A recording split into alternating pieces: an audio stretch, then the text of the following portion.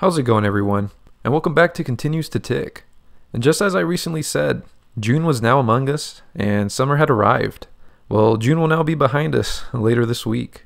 I oftentimes don't exactly know how to feel in regards to time passing as quickly as it does. At least not all the time, that is. Primarily because it makes it hard to stop sometimes and smell the roses, as they say, considering how quickly the world appears to spin, along with sequential events that happen in our daily lives as we age. I know it's a challenge, at least for me, every day to ground myself, to think of the here and now. But the good thing is, I guess, I don't mind the challenge. But regardless, July, July will arrive this week, whether we asked for it or not, whether we welcome it or not.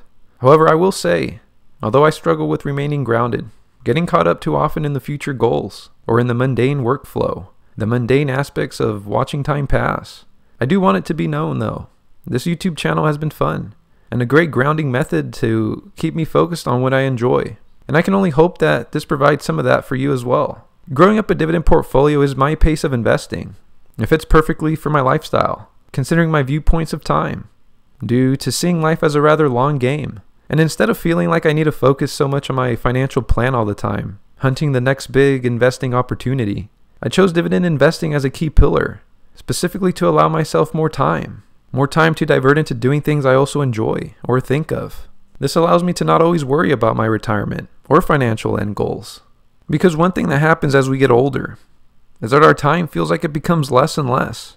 And honestly, a big part of that is because we get busier and busier. And I guess it does become less and less.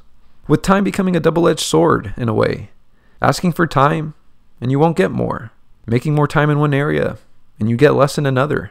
Well, the rather nice aspect of this all, at least for me, is knowing that I have the confidence that dividend investing will eventually assist me in buying back my time, but also seeing it as to allow me more time now, not needing to focus or worry, worry for my financial future.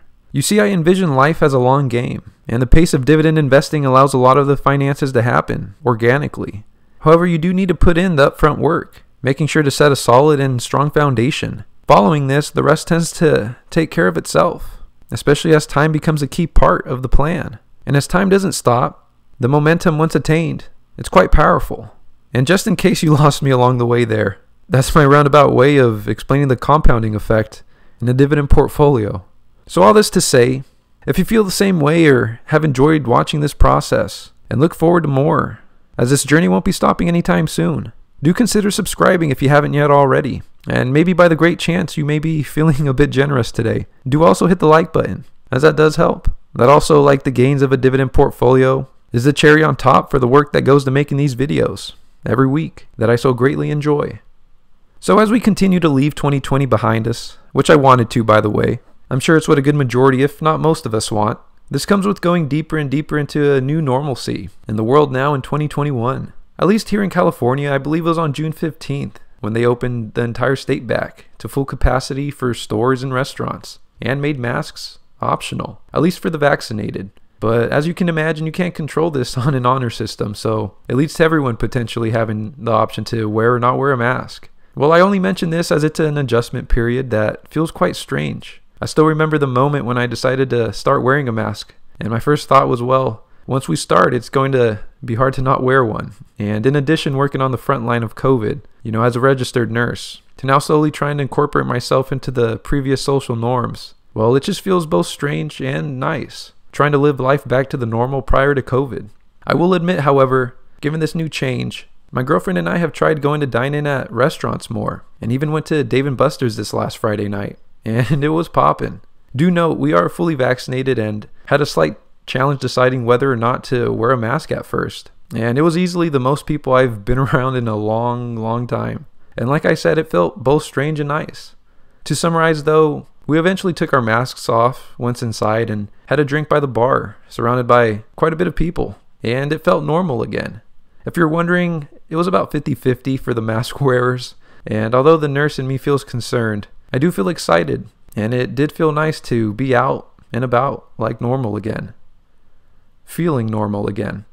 Now, for the main topic of this week's video, I wanted to touch on what I believe to be the main key to building wealth, no matter the situation. And one of my biggest viewpoints creating this perspective in my mindset was simply watching my immigrant parents accomplish what they did and how they went about doing so. Living in a neighborhood now where most neighbors hold college degrees, actual career jobs, and businesses. My parents, for example, came from Mexico at not too young of an age, around the age of early 20s. They stereotypically worked in the agricultural field, picking fruit, which is a rather laborious process for those that know and the definition of backbreaking work as it can get, or as work goes. And on top of this, it doesn't pay well and it's unstable, as you can't work much in poor weather conditions, often not being able to go to work every day to make money. The financial story of my parents goes that they worked in these fields, both of them, so two small household incomes. They saved their money or stayed disciplined enough to preserve their income, holding until they had enough to buy a small duplex as their first home, then worked and saved more, rinsing and repeating, this time buying a slightly bigger home, with renting out their previous home for additional income, then eventually buying an apartment complex, which is the key overall to their financial success. I and they would both openly agree, which I may touch on in a future video. However, then again later, getting another home with the increased income now from the apartment complex rentals. Although there were multiple pieces here, such as my parents' knowledge of investing in the first place, or the readiness to jump on financial opportunities that presented themselves. I want the focal point of the story to remain on my parents, and specifically on their ability to save the money they did, preserving their money to allow them the option to invest it in the first place, which then later on, with smart choices, propelled them forward.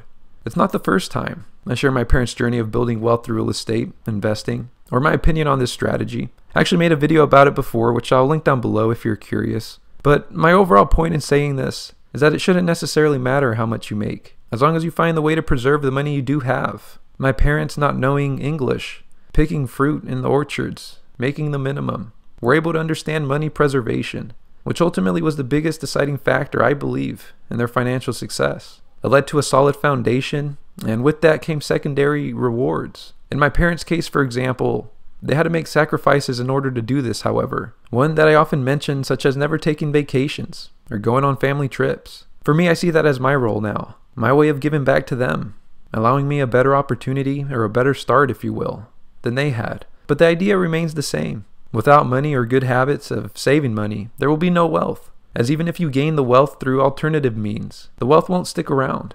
Now pair money preservation with financial knowledge and the readiness for good investable opportunities when they present themselves. And here you have one of the recipes to creating wealth. In my opinion, it all starts with how much of your money can you save, not how much more can you make. Making more is a temporary fix to an endless cycle of a problem. And consider aging and health into the mix now, and it gets even more interesting, as we all become eventually limited in our ability to work for more money, regardless of choice. And as we wrap up this week's video, let's go ahead into the portfolio review for this week. So unlike the last week, where it was quite sad, and the week before that we were talking about reaching the 29k mark, but instead we, we bottomed out going backwards towards the 28k mark. This week is the opposite. But nevertheless, here we are in the Jesse's cash flow portfolio, sitting at $29,320. Currently now with a 33.84% total return, which equates to a total gain of the portfolio of $4,167, with $427 being from earned dividends and from market gain getting $3,739. And as you can see here, starting the portfolio initially on July 21st of 2020, we've continually systematically over time grown the portfolio with weekly deposits and growth as well. And the drip is activated so week after week we're compounding, getting the effects of these dividends over time. But as you can see here towards the end, we see a little divot here. And if I zoom into the last month's chart, it becomes a little bit more prominent here. But over this last month, we have a 0.01% return in the portfolio, which is pretty much non-existent. It says it's an overall portfolio gain of $3.72. And if it wasn't for the earned dividends, apparently, we would be in the red. But because of these earned dividends, we have a little cushion here. And ultimately, that's what it's all about. And if we go over here to the one week mark, it was a relatively good week. The markets tended to rebound. But over the last week, here we are with a return of 2.13%, which equates to a total gain of $610.55. From earned dividends, it was $20, and from market gain alone, we made a lot of this back to get us over the 29K mark now of $589.99. And if we go down here for the past week, we can see we had a pretty good viewing here of the green lawn with it looks like financials, energy, and my ETF rebounding for the biggest gainers. So interesting to see. And as we get closer to wrapping up this week's video, here we are with the activity for this past week, or aka our dividend payouts. As you can see here on June 23rd, we got paid from the ETF, SPYD, which is a big chunk here. It's a high dividend paying ETF and it's one that I do hold in my portfolio. This is why we get such a big dividend payout, and it is a big, or a decently big portion of my portfolio. So we got paid $27.78 from it this past week. Also on June 3rd, we had our $500 deposit, just like we always do. And because all of this happened on the same day, my assumption here is that this dividend payout just didn't have enough time to be incorporated into the portfolio and funnel in on this day. But we had a $5 snowball on this day here. And as you can see here on June 24th, we got paid from the other ETF that I'm holding, VIG, of $12.75. So big difference here. I believe I'm technically holding the same percentage in my portfolio of VIG and SPYD. However, SPYD is specifically a high dividend paying ETF, and VIG, well, is VIG. And also here on June 24th, you can see that we had a purchase or a funnel into the portfolio of $25. So double purchase this week, but my assumption is because of this dividend payout that wasn't funneled in on the 23rd, it got funneled here on the 24th. So 25 plus 5, that's a $30 snowball action this past week. And wrapping up this week's last dividend payout is from Lockheed Martin Corp, $2.20. So that's going to be it for this week's video. As you can see, the cash balance for this upcoming week is going to be a relatively large one of $17.20. So I'm expecting and anticipating a rather big snowball action, also again upcoming next week, which will be exciting to see. So if there's nothing else that you can take away from this video, besides the systematic process that I've been showing over time of growing a dividend portfolio, I hope you can understand that money preservation is important. Taking care of what you can get, taking care of what you have, and investing it. And with that, I'll wrap up this week's video.